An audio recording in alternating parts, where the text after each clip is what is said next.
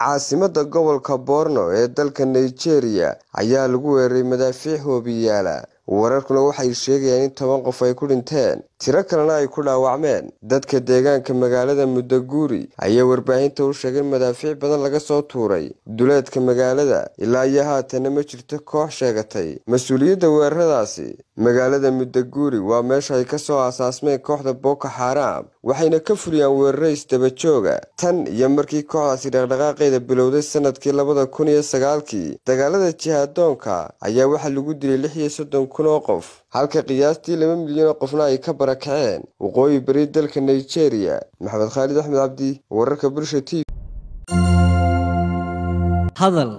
oo hadal. Oo hadal.